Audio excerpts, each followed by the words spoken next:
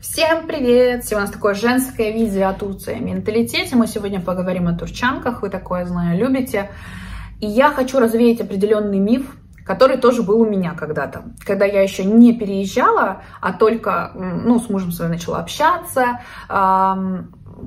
приезжала пару раз в гости, видела, как там, побывала там родственников, познакомилась как-то в семьях, и я посмотрела турчанок, я с ними познакомилась с какими-то родственниками своими, как они ухаживают, там, за мужьями, дома, быт, вот это вот все побывала, скажем так, в настоящем турецком доме.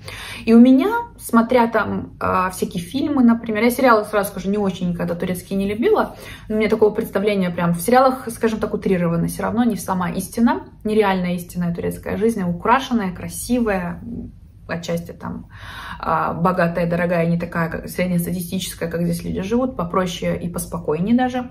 Ну, страсти, мордасти, все истории в сериалах, конечно, они утрированы экстра, наоборот, еще этого больше, чем в реальной жизни. Так вот, у меня даже был такой миф, и я вот недавно о нем вспомнила, что мне казалось, что турчанки домохозяйки. И я вот сейчас и девчонок слышу, которые планируют переезжать или в России живут там что-то о Турции, да, мы разговариваем, подписчицы мои в письмах и так далее, что вот я хочу замуж за турка, аргумент, да, девчонки мне говорили, это не мои мысли, это мне подписчица, а, потому что у них классно, в плане семью мужчины семьянины турки, а, турчанки в большинстве своем, или сейчас 50 на 50, а, домохозяйки, а у нас в России с этим труднее. То есть я и домохозяйка, дом веду, готовлю там, и как конь на работе пашу. Ну, хотя бы я не перестану быть конем, перестану пахать, да.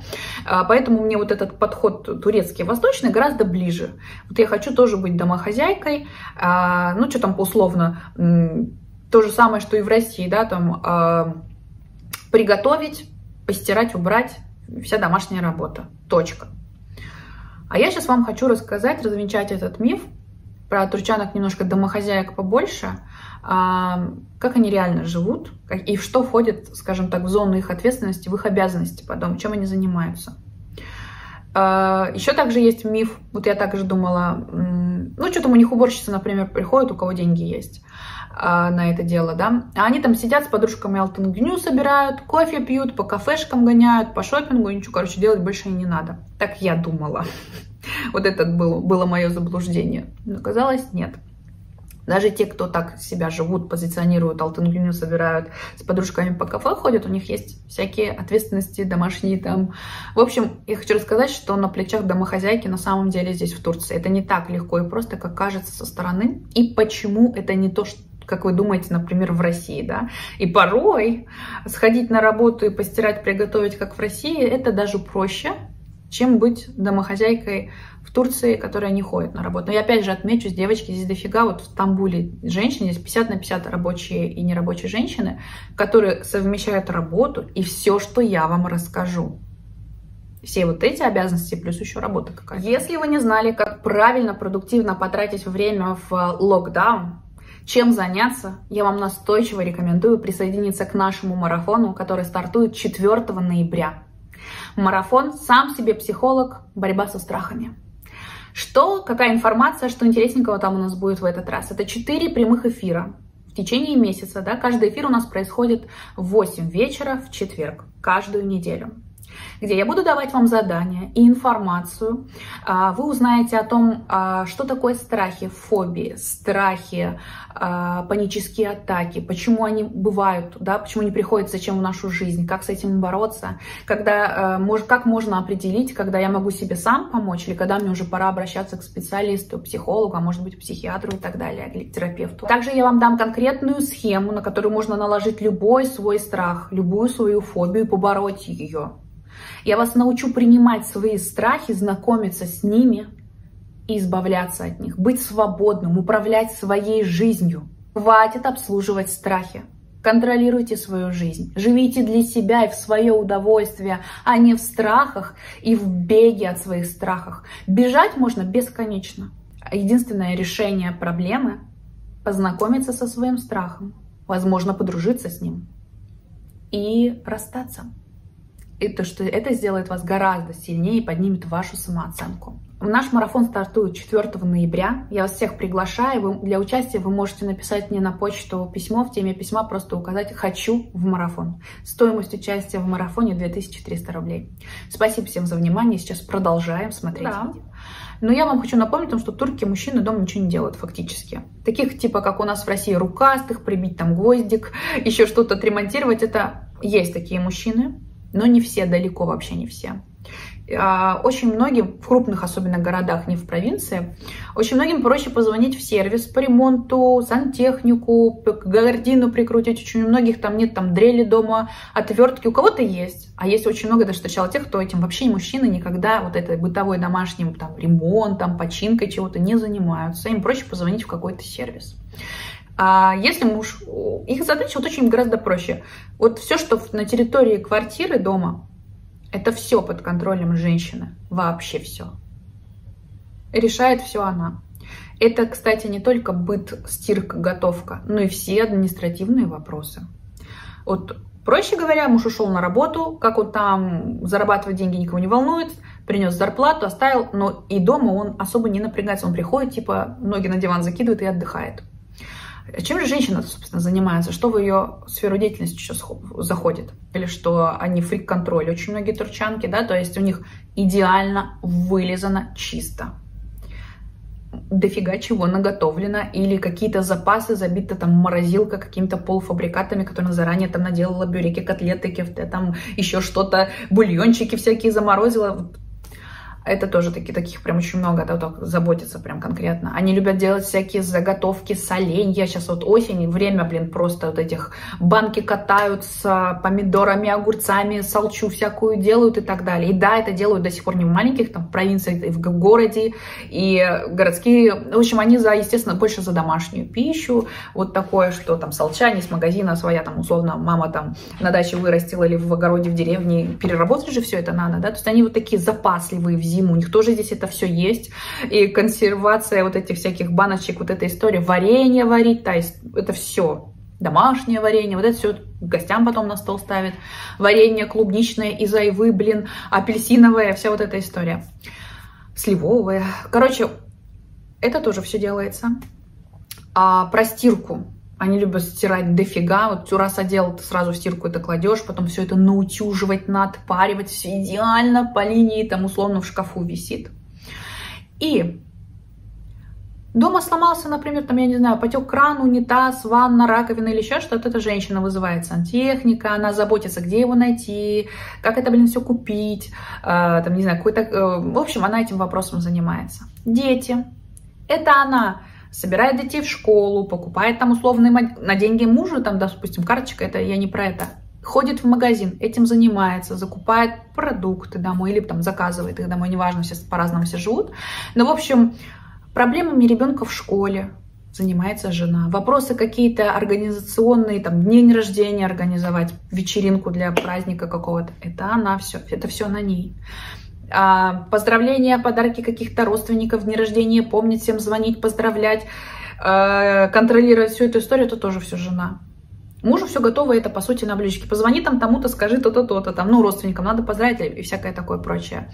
То есть турчанка занимается не только готовкой, уборкой, стиркой, глажкой, да, она занимается вообще всем вот этим, организацией полной всей э, социальной семьи. И вот эти алтын геню, попить кофе с подружками, это я бы назвала ее награда. Ее, это ее отдых. И он, опять же, видите, проходит в коллективе с какими-то людьми. Честно скажу, вот я реально таких совестливых, нормальных, э, хороших хозяек, турчанок, есть, конечно, ленивые, я же ни о чем не говорю, есть, везде есть исключения всякие, но такая нормальная, адекватная, которая на себе все, вот она здесь точно так же, как и в России, по сути, женщина, впрягает все максимально на себе, всю вот этот быт весь, весь на женщине, вообще все это решает она, и тянет как вот эту повозку, как лошадь. Так и есть тоже. И нормальная такая турчанка адекватная, которая вот хозяйственная, она с утра как проснулась, всех там школу поднимать, мужа на работу, завтраки готовить, это вся история. Но она вот как белка в колесе весь день вот так и мотается и ложится она позже всех в семье, когда всех разложила, там помыла, там накормила, за всеми все убрала, на завтра там всем сумки собрала, детям в школу, мужу там на работу, и вся вот эта история. И когда говорят, я поеду в Турцию, хочу быть домохозяйкой, э, мужа себе турка, чтобы типа быть домохозяйкой, это проще, чем э, пахать, работать в России. Это обманчивое заблуждение, девочки. Пахать придется так же, как и в России, честно скажу. Да, может где-то проще в каких-то моментах, но все равно придется. Это ни разу не легче, это заблуждение. У меня, по крайней мере, мне казалось со стороны это гораздо легче. Она же не на работу там условно не ходит, ха-ха. И меня тут возникает вопрос, да, вот моя подружка Дуйгу, она работает. Она работает, причем из дома. И она вот вся такая же, попа в мыле бегает целый день, дела семейно-организационные, все стандартно, как турчанки все делают. Плюс еще она на ней работа. А, она работает с иностранцами, в общем, там поставки всякое такое. Она еще тут же в компьютере вот это все т -т -т -т -т, решает проблемы, бежит туда, делает то. То есть Почему вот вы спрашивали, у вас э, Дуйгу нет, а вы с ней общаетесь? Да мы общаемся, у нас просто нет времени встречаться. У нее реально нет времени сходить и выпить там чая, кофе, встретиться. Мы с ней встречаемся где-то пересекаемся чисто случайно, заранее не договариваясь. Бывает, где-то в кафе сидим, о, боже, ты здесь? Мы тогда, естественно, потом с ним пообщаемся. Или мы очень часто встречаемся, вы не поверите, в продуктовом магазине на кассе где-нибудь. Она просто ездит в тот же магазин, который возле моего дома, она далеко живет. Они немножко переехали, но в нашем районе все равно. И она иногда переезжает за продуктами, так капитально закупаться в тот же магазин. Вот мы частенько так встречаемся случайно в магазине. Мы тупо идем, делаем вместе шопинг, покупки, продукты складываем и идем вот в этот момент общаемся больше. Нет времени. И я, честно говоря, по сути, в такой же ситуации. У меня работа тоже с дома, получается, весь вот этот домашний быт, вот все вообще, что у нас в семье домашнее происходит, организация полная на мне. И мне это нравится. Я ни в коем случае не говорю, что мне не нравится, я недовольна или это тяжело. Я к этому привыкла. Мне это устраивает. Но я честно по своим ощущениям скажу, вот честно, просто ходить на работу было бы гораздо легче. Когда у тебя и работа, и быт дома все вместе, у тебя нет вот этого места для отдыха. И у турчанок я вам говорила, что они вот такие любят очень, не все, конечно, но есть такие, которые любят все начисто убрать, наготовлено, вот столы ломятся от еды, гостей принимают. Вся история гостеприимства турецкая, красивая. Это все только от женщины, поверьте, зависит. И здесь реально мало мужчин, которые возьмут в руки пылесос в выходной день, типа помочь жене что-то пропылесосить. Вот я не знаю, нападают там крошки. Вот я своими глазами такую историю видела у своих знакомых в гостях. А муж такой, мы были в гостях, у него дети есть, маленький, маленький ребенок, накрашил, в общем, это стандартная история, в общем, грязь получилась, да. И даже тут гости сидят, муж автоматом, он даже не думает, не постеснялся или еще как-то там. Он ее зовет и говорит, а, там ребенок накрашил, тащи пылесос, иди убирай, иди убирай, иди делай. Она ему говорит, я на кухне, сейчас, конечно, сейчас я, конечно, уберу, но подождите чуть-чуть, я сейчас закончу, там она там, стол, типа, нам накрывала, там, условно, пюреки запих, запихивала в духовку, там, чай делала, вот эта вся история. И, и мы так с мужем переглянулись, я говорю, давайте я помогу, я могу убрать, как бы, он такой, не-не-не, сейчас жена придет, она все уберет. И у меня в голове мысль, что, черт, чувак, это твой ребенок, твой дом, Твоя жена там на кухне зашивается. Он даже не подумал, в голове не было идеи собрать этот условно мусор и выкинуть ему самому. Он, думаю, ничего вообще не делает. И я тогда подумала, мне так стало жалко, что вообще никакой помощи. И помните видео у меня про домашних султанов, все вот эту историю, как мамочки воспитывают особым своим отношением к мальчикам, что они сидят дома, вот принес деньги, и все, с тебя взятки гладкие, остальное Конечно, выглядит это со стороны красиво, звучит, да, типа принес деньги, а она ими распоряжается, что куда там, как. А если денег он нормально приносит достойно, это звучит хорошо, а если денег не хватает? А если он не хочет где-то выше головы прыгнуть, больше подзаработать для семьи? И она вот, таща вот это все на себе, еще должна как-то экономить и выкатывать деньги на то, на все, чтобы на все хватило. Вот так что я к тому, что, девочки, быть домохозяйкой не так-то легко в Турции. Дофига ответственности, дофига обязанностей, и с утра до вечера, как белка в колесе, бегает.